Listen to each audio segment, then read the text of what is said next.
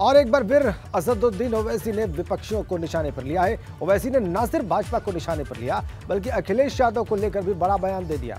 ओवैसी ने दावा किया है कि अखिलेश भाजपा को नहीं हरा सकते।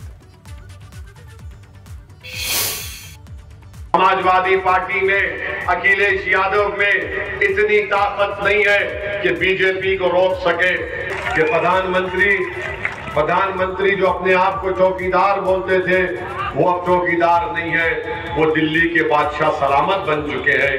ये बादशाह सलामत अब ये कह रहे हैं कि उत्तर प्रदेश की जनता ने मेरा नमक खाया है। आप बताइए, चौकीदार मालिक का नमक खाता है ना? मगर मोदी जी ने कहा मैं चौकीदार नहीं हूँ। मैं बादशाह सलामत हूँ। हम मोदी जी से कहना चाहेंगे कि हमारे पूर्वजों ने, हमने सबने मिलकर देश का नमक खाया। हम मोदी का नमक नहीं खाएँगे, जहर खाना पसंद करेंगे। अब अचानक उनको ख्याल आया कि सांड किसानों की फ़सल को खा रहा है। जब किसान जाकर बाबा से मिले तो बाबा ने कहा, तुम क्यों शिकायत कर रहे हो?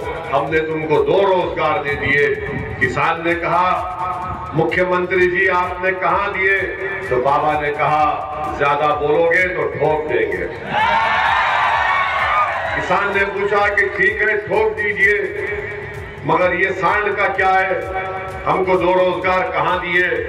तो मुख्यमंत्री ने कहा, दिन में तुम अपने खेत में काम करो रात में जागकर अपनी फ़सल की हिफाजत करो, ये हमने तुमको रोज़गार दे दिया।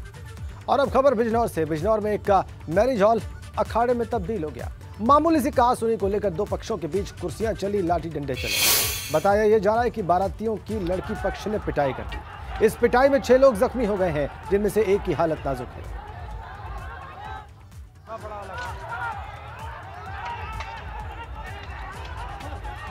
ये देखिए आप। ये मैरिज हॉल की तस्वीर है मैरिज हॉल का वीडियो आप देख रहे हैं। यहाँ पर विवाह होना था यहाँ पर सेलिब्रेशन होना था लेकिन लड़की और बाराती पक्ष आपस में भिड़ गए लाठियाँ डंडे चले लात घूसे चले एक दूसरे को गालियाँ दी गई और इस तरीके से शादी में जश्न के बजाय बवाल हो गया। तस्वीरें और वीडियो आपकी स्क्रीन पर जो है इस वक्त वो एक मैरिज हॉल का है। वो जगह जहाँ पर विवाह संपन्न होता है वहाँ पर युद्ध जैसी स्थितियाँ बन गई दो पक्षों के बीच में।